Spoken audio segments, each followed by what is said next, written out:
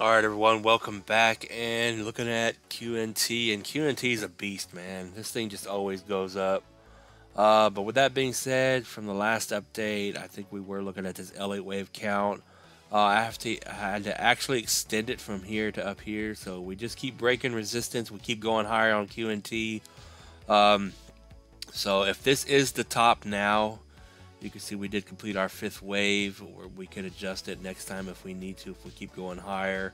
You know, as long as this wave doesn't get larger than the third wave here, then we're still good. Uh, so we're still good right now. So what to look for now? Uh, your next stop on QNT is going to be 176 up here. You're at 151 at the moment. Uh, you did just get over support and you're kind of just hanging around on top of it. Uh, or resistance rather, and now you're holding it as support. So as long as you hold this 147 support, you're still good to keep making higher highs and just keep moving on up.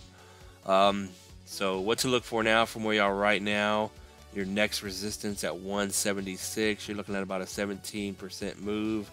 Get past 176, then 207 is the next stop at about a 37% move. So just kind of watch those prices if QNT keeps climbing higher. Uh, if for some reason you do pull back and you lose the support at 147, you're going to drop down here to about 129, and that will be your first support line.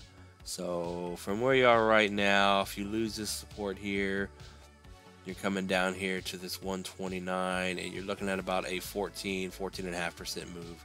So other than that, you know, just kind of watch those couple of prices there, those support and resistance levels. Uh, like I said, QNT looks good. It's just it's just constantly climbing higher uh, as everything else kind of uh, takes a dump. So, uh, yeah. With that being said, not financial advice. Thanks for watching, everyone. Peace out.